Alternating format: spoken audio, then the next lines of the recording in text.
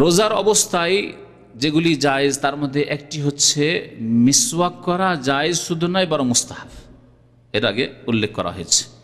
তবে মিসওয়াক ছাড়া ব্রাশ সম্পর্কে বললাম, ব্রাশ এবং তার সাথে যে পাউডার অথবা পেস্ট, কলগেট হোক আর অন্য কোনো কোম্পানি হোক মানে পেস্টটাকে আজকাল অনেক মানুষ কলগেট বলে থাকে। এই কোম্পানিটি এত প্রসিদ্ধ হয়েছে যে কোনো আমি কলগেট, না।